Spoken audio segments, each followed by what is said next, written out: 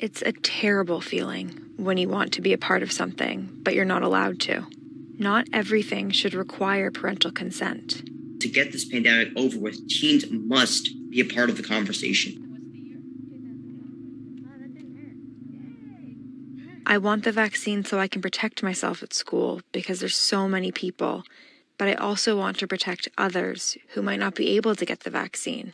I just want to protect them and I want to protect myself.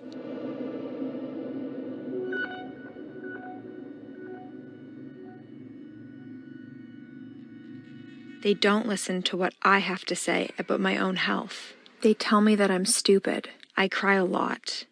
It hurts a lot to hear it from your family.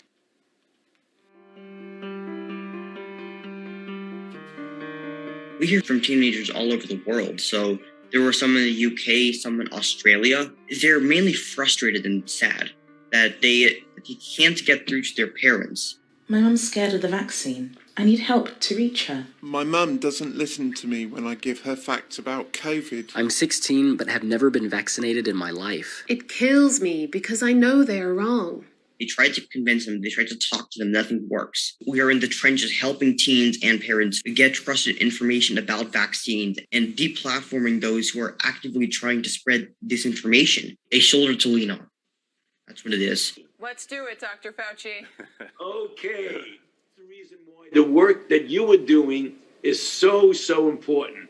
So thank you so much for that.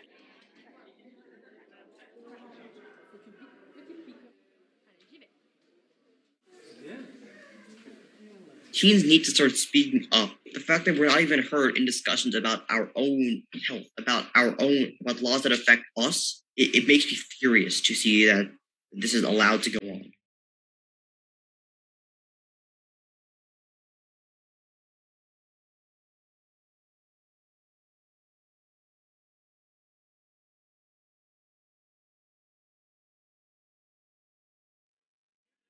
For under 16 year olds, it's about whether or not they are Gillick competent. What that means is that they understand the nature of the treatment being proposed and they understand the consequences of having that treatment and the consequences.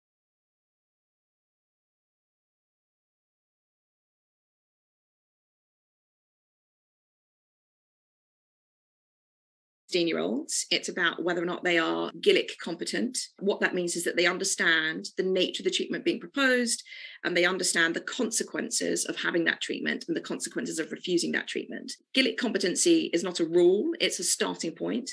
It may not be that they can necessarily have the treatment if their parents are opposed to treatment. Um, some cases may well end up in court, but I would anticipate, even if those cases end up in court, it will only be at the start of the rollout and then it would settle down